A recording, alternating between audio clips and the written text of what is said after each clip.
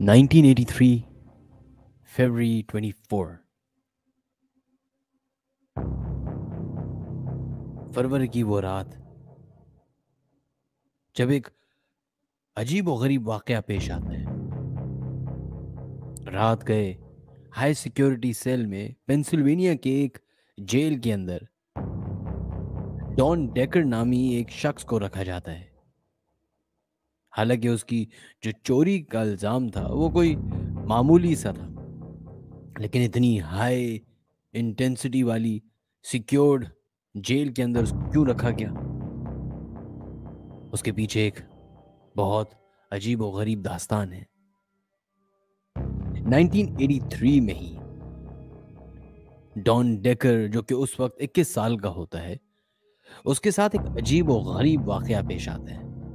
शुरुआत उस वाक़े की एक डेथ से होती है, जो कि उसके ग्रैंडफादर की होती है। चूँकि वो जेल में होता है तो जेल की तरफ़ से सात दिन के लिए उसको रिहाई मिलती है। और वो सात दिन के लिए अपने दादा के फ्यूनरल की तरफ़ बढ़ता है। जिस दादा के लिए उसकी आँखों से आँसू निकल रहे होते हैं असल में उस दादा का एक बहुत ही खतरनाक, दर्दनाक, खौफनाक, डार्क सीक्रेट था। बकौल डॉन डेकर के जब उसकी उम्र सात साल थी तो उसका दादा उसको फ़िज़िकल अब्यूज किया करता था। ये बात फैमिली के किसी मेंबर को मालूम नहीं थी। सिर्फ़ पोते और दादा के बीच में ये फ़िज़िकल अब्यूज चलता रहा, जिसकी वजह से उसने उस घर को भी कम उम्री में छोड़ दिया था, जिसकी वजह से शायद वो इन अजीब व गरीब क्रिमिनल एक्टिविटीज़ में पड़ गया। खैर, वो फ्यूनल अटेंड करता है। रात गए माहौल को चेंज करने के लिए वो अपने दोस्तों के घर जाता है। जब दोस्तों के घर जाता है, सारी बातें होती हैं, जैसे नॉर्मल दोस्तों के साथ आप बैठते हैं, गुफ्तगु होती है हेल पहल होती है, हँसी मज़ाक होता है। लेकिन उसको अचानक से उसकी तबीयत ख़राब होना शुरू हो जाती है। वो अपने एक आर्टिकल में बताता है कि मेरे अचानक से रोंगटे खड़े शुरू होना हो गए, मुझे खौफ तारी होना शुरू हो गया। और ये सब इतना बढ़ गया कि मैं अपने दोस्तों को, जिनसे मैं मिलना चाह रहा था इतने महीनों से, जिनसे मैं मिला नहीं था, उनको खुदाफिज कह के उस घर की फ़र्स्ट फ्लोर पे बने हुए एक कमरे में जाके बिस्तर पे लेट गया। लेकिन कहता है कि जैसे ही मैं कमरे में गया हूँ तो मुझे वॉशरूम जाने की ज़रूरत पड़ी वॉशरूम की तरफ़ गया हूँ। तो कहता है कि मैं अब अपना मुँह धो ही रहा था कि जैसी मेरी, मेरा चेहरा ऊपर मैंने शीशे की तरफ़ देखा तो मुझे उस चेहरे पे, उस शीशे में अपने पीछे एक बूढ़ा शख्स दिखाई दिया। कहते मुझे इतना खौफदारी हुआ कि मैं वहाँ से भागता हुआ निकला हूँ। और जब मैं भाग रहा था तो मुझे ऐसा लग रहा था कि कोई मुझे पीछे से खींच रहा है। और इस में बाकायदा वो कहता है कि मेरे शोल्डर की तरफ़ तीन नाखूनों के निशान भी थे, जो कि बाकी दोस्तों ने भी उस बात की तस्दीक वो डरते डरते उस कमरे से ग्राउंड फ्लोर तक की तरफ़ आता है, दोस्तों को बताता है कि ये मामला हुआ है मेरे साथ। लेकिन दोस्त वो कुछ और ही देख रहे होते हैं, जो टॉम डेकर अभी चंद मिनट पहले उनके साथ हँसी मज़ाक बातें कर रहा था, नॉर्मल अंदाज में, वो अब कंप्लीटली चेंज हो। ऐसा लग रहा था कि वो किसी ट्रांस में है। वो कोई और है। और देखते ही देखते एक अजीब और गरीब चीज़ होना शुरू हुई, जिसकी कोई एक्सप्लेनेशन नहीं मिलती। घर के उस टॉप फ्लोर से पानी गिरना शुरू होता है। साथ साथ घर के ग्राउंड फ्लोर पे मिस्ट जमना शुरू हो जाती है। जब ऐसा होता है घर के जो भी रहने वाले होते हैं, वो फ़ौरन लैंडलॉर्ड को कॉल करते हैं कि शायद ये प्लम्बिंग का इश्यू है। लेकिन बकौल लैंड लैंडलॉर्ड के और जो लोग उस घर में रह रहे होते हैं, जिस जगह से वो पानी रस रहा होता है, वहाँ पे कोई पाइपलाइन की जगह नहीं ये एक अजीब और गरीब सिनेरियो बन चुका था। और ये पानी अब टपकते टपकते इतना बढ़ गया था कि ऐसा लग रहा था कि घर में बारिश का समा हो चुका है। अब जब पानी इतना भरने लग गया घर में तो इन्होंने सोचा कि हम उस दोस्त को, जो कि अजीब व गरीब हालत में था, उसको बाहर लेके चलते हैं। घर के बिल्कुल ही सामने एक रेस्टोरेंट बना हुआ था। ये एक पेंसिल्वेनिया का एक छोटा सा इलाका था, जिसमें हर कोई एक दूसरे को जानता था। सब जानते थे कि डॉन डेकर के दादा की डेथ हुई है। सब उनके फ्यूनरल में भी आए थे। जब डॉन डेकर और उसका वो दोस्त उस रेस्टोरेंट में जाके बैठते हैं तो जो रेस्टोरेंट की मालिकन होती है, वो भी इस बात को नोटिस करती है कि डॉन एक अलग पर्सनैलिटी इख्तियार किया हुआ किसी को कुछ समझ नहीं आ रहा था कि यह माजरा हो क्या रहा है। सबको शायद ये लग रहा था कि दादा के इंतकाल की वजह से ये उस ट्रॉमा में है। और अभी तक उनको इस बात का भी नहीं इल्म था कि दादा ने पोते के साथ क्या किया है, माजी में, उसके बचपन में। देखते ही देखते जो घर में वाकयात हो रहे थे कि टॉप फ्लोर से पानी टपक रहा है। एक मिस्ट जमा होती जा रही है। वही सिनेरियो घर के सामने वाले रेस्टोरेंट में भी होना शुरू हो गया। ये बात सबके लिए अनबिलीवेबल हो चुकी कि आखिर हो क्या रहा जो रेस्टोरेंट की मालिकन थी, उसको ये भनक पड़ जाती है कि शायद डॉन डेकर के साथ कोई मामला है। वो फ़ौरन ही अपने काउंटर की तरफ़ जाती है, टिल्ट के अंदर से एक क्रॉस साइन निकालती है और फ़ौरन ही वो क्रॉस डोनाल्ड के जिस्म पे लगाती है, जिसके बाद डोनाल्ड चीखे मारता हुआ उठता है। और जब वो अपनी शर्ट थोड़ी सी खोलता है, अपने सीने की तरफ़ देखता है तो वहाँ पे बकायदा जले के निशान आए हुए होते हैं। ऐसा लग रहा होता है कि उसकी स्किन जल गई है। स्किन जलने का रीजन सिर्फ़ एक ही होता है कि वो पजेस लेकिन ये बात बाकी सारे उन दोस्तों को हजम नहीं हुई, उनको समझ नहीं आई, ना ही डॉन को, ना ही उनके दोस्तों को। तो वो वापस घर की तरफ़ चले जाते हैं। जब घर से पहले जब वो बाहर निकले थे तो उसके निकलने के बाद घर के मामला ठीक हो गए। तो उनको लगा कि शायद कोई टेक्निकल रीजंस की वजह से घर में पानी आ रहा है। अब चूँकि पानी ख़त्म हो गया है तो हम दोबारा घर की तरफ़ चले जाते हैं। जब डॉन और उसके दोस्त उस रेस्टोरेंट से निकल के वापस घर की तरफ़ जाते हैं। तो फिर से वैसे ही माहौल बनना शुरू हो जाता है। हल्का हल्का मिस्ट आना शुरू हो जाता है।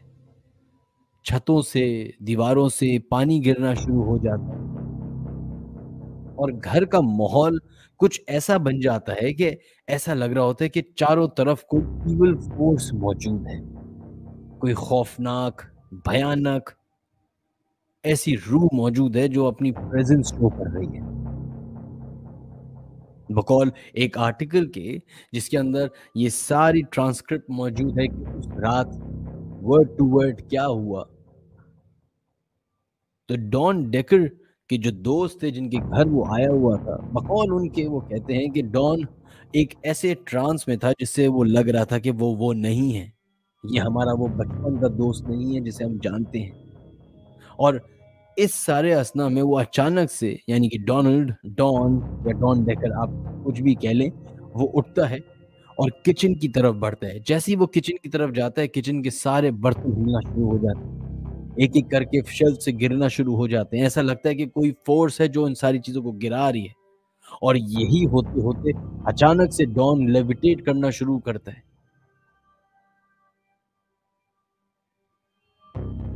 जब ये मामला सारे दोस्त देखते हैं तो वो फ़ौरन पुलिस को कॉल करते हैं। पुलिस चंद मिनट के अंदर ही चूँकि एक छोटा-सा टाउन था तो वहाँ पे हर कोई एक-दूसरे को जानता था और पुलिस भी चंद मिनट के अंदर उस मौके वारदात पे पहुँच सकती थी। तो पुलिस उसी तरीके से पहुँच गई। वो पुलिस में दो लोग मौजूद थे, दो पुलिस ऑफिसर्स जो कि वहीं के ही रहने वाले थे, एक-दूसरे को सब जानते थे। घर में जैसे दाखिल होते हैं, तो उनकी सबसे पहली नज़र डॉन डेकर पे पड़ती है जो कि हवा में लेविटेट हो रहा होता है, चीख रहा होता है, चिल्ला रहा होता है। किचन की सारी चीज़ें गिर रही होती हैं, बुक्स उड़ रही होती हैं, प्लेट्स टूट रही होती हैं। बाकी सारे दोस्त साइडों में डर और खौफ के मारे बैठे होते हैं। घर की पानी टपक रहा होता है। ग्राउंड फ्लोर पे मिस्ट भरी हुई होती है। जब ये दोनों पुलिस वाले अंदर दाखिल होते हैं और ये सब देखते हैं तो उनको कुछ समझ नहीं आता कि ये माजरा है। डर के वापस घर से बाहर निकल आते हैं। और इसी असना में दोस्तों में से एक लड़की जिसके पास क्रॉस साइन होता है, वो फ़ौरन जाके डॉन डेकर के गले में डालती है, जिसके बाद चंद मिनट के अंदर-अंदर सारी सिचुएशन सेटल डाउन हो जाती है। हल्के-हल्के करके डॉन जो कि लेविटेट कर रहा होता है हवा में, वो नीचे आता है और गिर जाता है और बेहोश हो जाता है। उसको उठा के सोफे पे रखा जाता है। पानी अनबिलीवेबल तरीके से उस घर से गायब हो जाता है। जो मिस्ट उस घर में चाहिए होती होती है वो खत्म हो जाती है। बाकी दोस्त घर में मौजूद बाइबल पढ़ना शुरू कर देते हैं। ज़ोर-ज़ोर से बाइबल की तिलावत हो रही है। वहाँ क्रॉस उसके जिस्म पे रखा गया है। दरवाज़े पे पुलिस मौजूद है। जब पुलिस ये सारे मामला देखती है, तो उनको शक हो जाता है कि ये मामला कोई दुनियावी नहीं बल्कि कुछ और हैं। एक पादरी को बुलाया जाता है फॉर एक्सोर्सिज्म जब वो इसकी हालत देखता है तो वो कहता है कि ये मेरे बस का काम नहीं बल्कि मुझसे भी कोई दो हाथ आगे फादर उनको बुलाना पड़ेगा, जिनके पास इतनी ताकत है कि वो इस तरह की इविल फोर्स से लड़ सकें। और ऐसे ही होता है। जो पहले वाले फादर उसका एक्सोर्सिज्म करना शुरू करते हैं, तो वो अचानक से अपनी आँखें खोलता है। और अजीब-ओ-गरीब ज़बान में उसको बुरा-भला कहना शुरू करता है। चीज़ें दोबारा से वैसे ही गिरना शुरू हो जाती हैं। वैसे ही घर में एक खौफ का समा हो जाता है। ऐसा लग रहा होता है कि ये जो बारिश हो रही है छत से ये कोई इविल की बारिश है।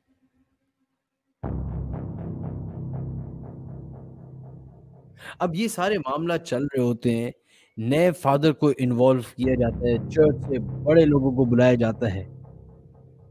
और फिर हल्के-हल्के करके जब एक्सोर्सिज्म होता है, तो डॉन डेकर अपनी ओरिजिनल हालत में वापस आता है। कुछ घंटों के बाद वो बिल्कुल नॉर्मल हो जाता है, उसको कुछ नहीं मालूम होता कि आखिर 3, 4, 5 घंटे उसके साथ क्या हुआ है। बस उसको ये याद ज़रूर था कि जब वो वॉशरूम गया था तो उसने वहाँ पे किसी एक खौफनाक से बूढ़े शख्स को देखा था अपने पीछे खड़े हुए। और ये उसको इस बात का इल्म हो जाता है कि जो घर में पानी टपक रहा था, वो शायद उसकी वजह से हो रहा है।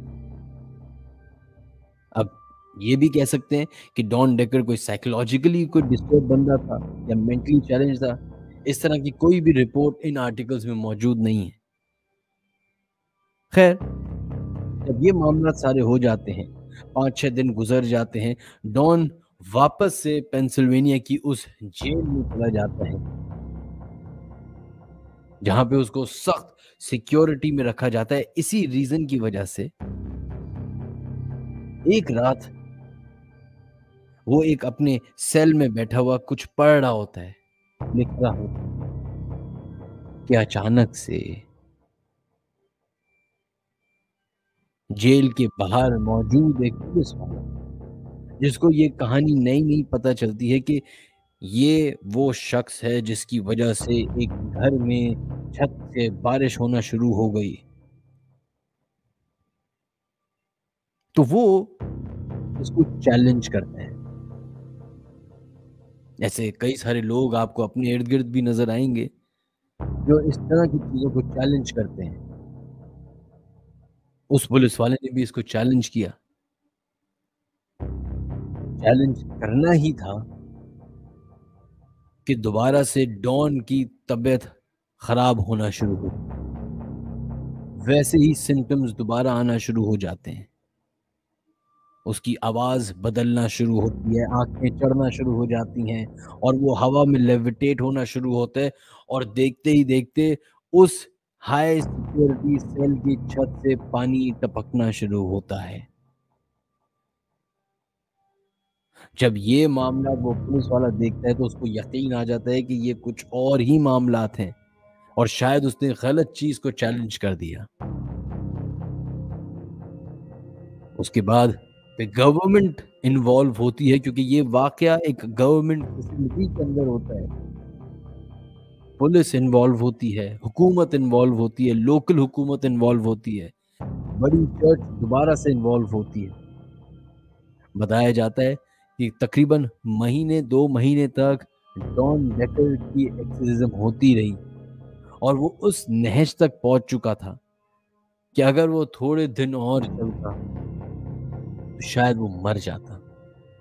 बताया जाता है, शक ये किया जाता है कि वो जो बुरा शख्स उसको दिखाता, दिखता था, जो उसके ऊपर अटैक करता था, वो उसका दादा है।